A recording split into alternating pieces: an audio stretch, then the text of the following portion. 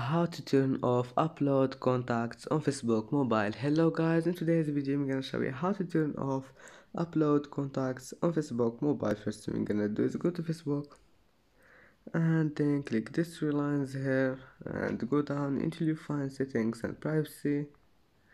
And then click settings and go down until you find uh, this one upload contacts click on it and then click here and turn it off. And as you see upload contacts has been turned off. And that's it for today's video. If you like this video please don't forget like and don't forget subscribe. And thank you for watching this video. And see you in the next video